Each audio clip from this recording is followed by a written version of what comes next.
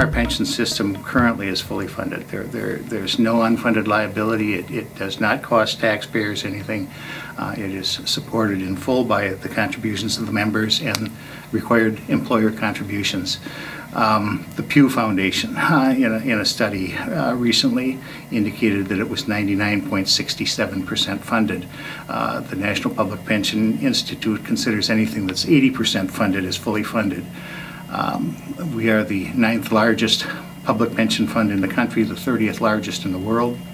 Um, The, the fund uh, um, uh, pays its own costs of administration out of the fund. It- It uh, uh, typically has beat the benchmarks, it's beat the, the uh, stock markets in its performance.